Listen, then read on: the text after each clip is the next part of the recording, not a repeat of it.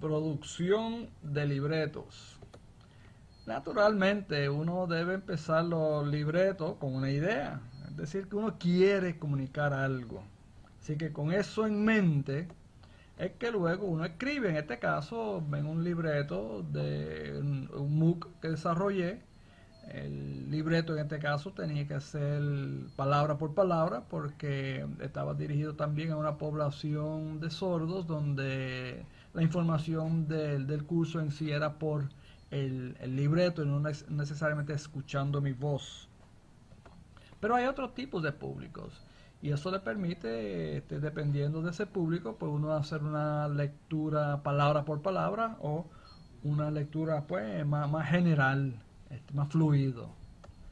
Este, en general, en general lo que uno necesita para un libreto, y aquí este formato lo tengo en Word, donde en un lado de la columna tengo el texto, el audio que se va a escuchar y luego el visual.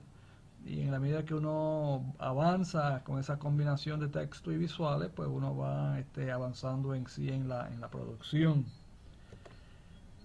una fuente para mí de, visuales es eh, naturalmente Google Images. Clips de video los saco de YouTube. Y de esa forma pues voy desarrollando los libretos que necesito para este, hacer ese tipo de, de producción que, va a, a, permitir pues que el estudiante reciba algún tipo de orientación por parte mía.